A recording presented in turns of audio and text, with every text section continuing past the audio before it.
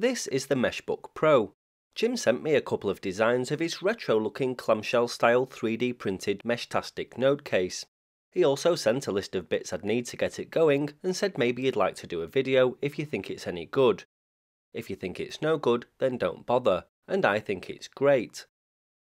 It's a completely standalone, battery-powered Meshtastic node with a built-in screen and keyboard, and it uses a RAK Wireless node for the LoRa side of things. If you don't know what Meshtastic and LoRa are, I'll link a playlist in the description below, but it's basically an off-grid application that uses radio to send text messages without the need for Wi-Fi or a cellular network. Better still, the nodes mesh together to send messages over long distances, using one another as a repeater. So this is the case that Jim sent over. I must point out that Jim isn't paying me for this plug, nor will I make any commission from any that he sells. I'm just helping out a Meshtastic enthusiast with a great product. If you want to buy one, the link is in the description below. As you can see it has a screen bezel, a hinge which also has a channel within to allow cables to pass through, a keyboard housing at the bottom, and a front cap that hides all the electronics inside. The print quality is really nice on this, as I'm sure you'll agree, and it comes with the nuts and bolts needed to assemble it together. All you need to provide is three main components and a bit of soldering.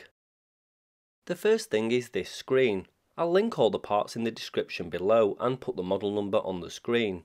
It's a 2.4 inch 128 by 64 pixel OLED display module and it comes in board form in a mixture of different colours. I paid around £5 for it and it came in about a week.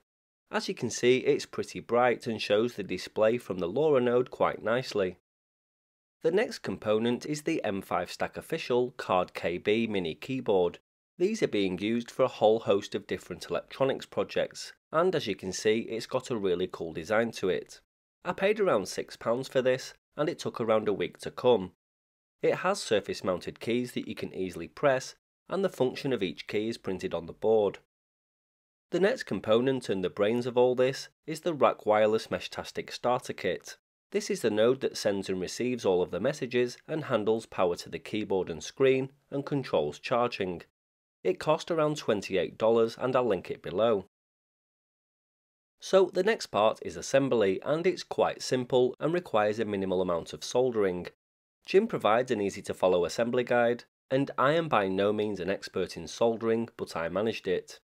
There's a few ways of doing this, I'll show you my way first. I soldered four wires to both sets of the ground, VDD, SCL and SDA pinouts on the display module.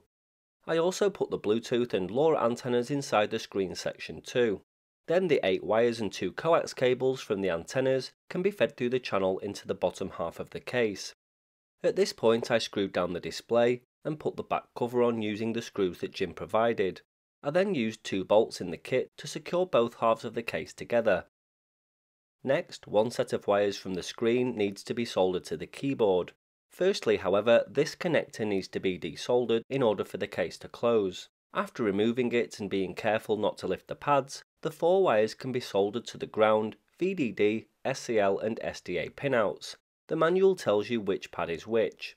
I used a bit of hot glue to insulate the solder joints and provide a bit of strain relief. A small amount of epoxy would be better and look cleaner, but I didn't have any to hand.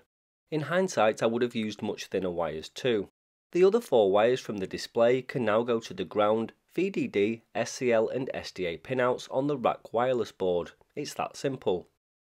The only other thing left to do is put the switch wires into the battery's negative lead to enable that to function and you're more or less ready to finish the assembly. The RAK board screws into the base of the bottom section of the case. The keyboard can then slot in place over the top, the battery can be fixed to the bottom of the keyboard using some double-sided tape, and the front panel can be screwed into place.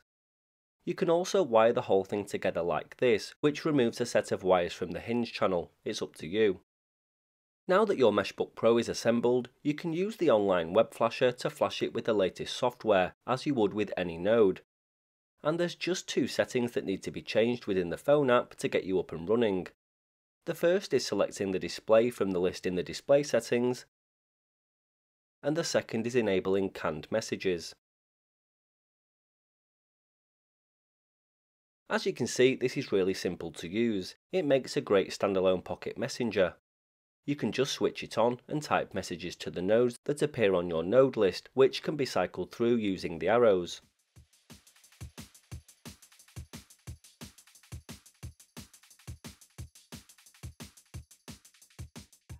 Or you can enter the long fast channel and type your message there. Hitting enter sends your message.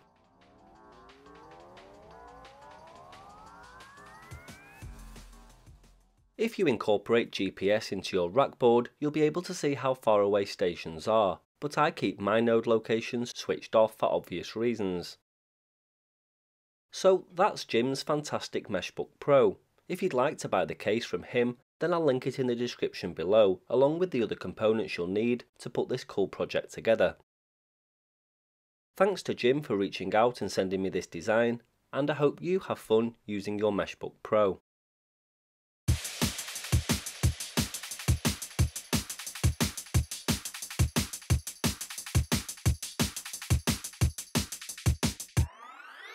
Música